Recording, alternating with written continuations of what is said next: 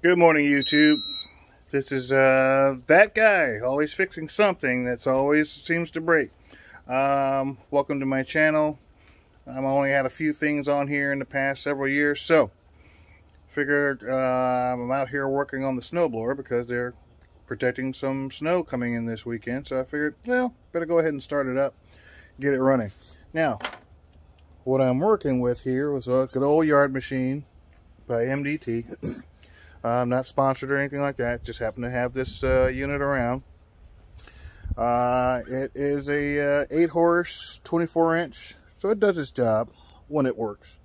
Um, and I haven't had really any issues with it other than uh, need to uh, oil it up and get it running.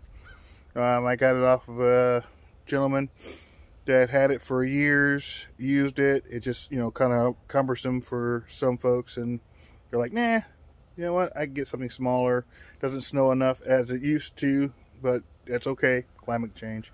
Um, so, figured I'd go ahead and uh, videotape this, and I got it fired up. I'll show you here.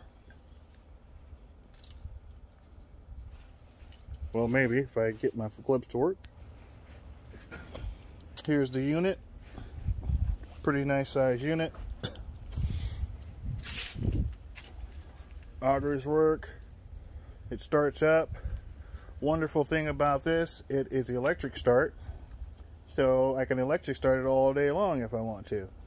But today I decided I'm going to electric start it and uh, then try to pull start it which I've never had really any success with pull starting it because uh, replaced the carburetor got it all cleaned out.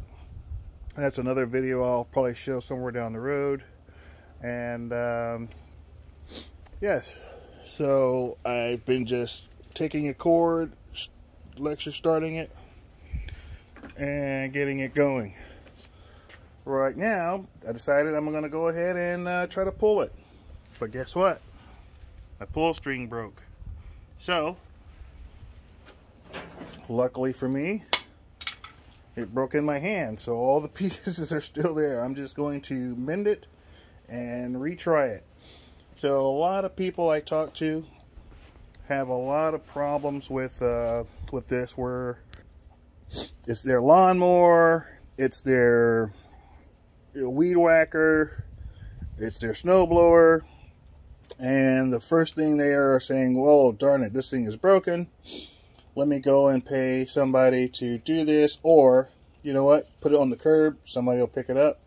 It's their problem.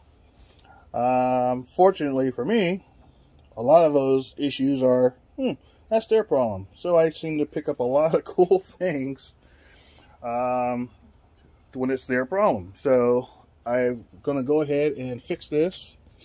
And let me show you just real quick on this guy here. You know, it's got four bolts, as you can see. One, two, down below there's two more. You really can't get a good look on that. Don't want to hurt your neck looking for it. So got that already off. That's what we're looking at right there. Flywheel. This is what we're looking right here is the unit that's causing the problem. And if you look closer and closer and closer, you can see where the cable came apart. So basically, inside this unit here is a spring. So what we want to do, and as you can kind of see, see that when you turn it, that spring grabs out those little pegs jump out and they grab that unit inside there and spin that sucker around okay? So it starts up. So a lot of people are kind of concerned and leery on messing with these because of the spring is loaded in here. And if you don't get it in just right it is hard to, to play with the spring. Sometimes you have to just buy a whole nother unit if that spring broke altogether I think I'm going to get lucky enough and I'm going to feed the end right back in here. I'm going to take my time and precision and get it to line right back up to that. I'm going to pull it through, tie a big old giant knot in it, and test it out.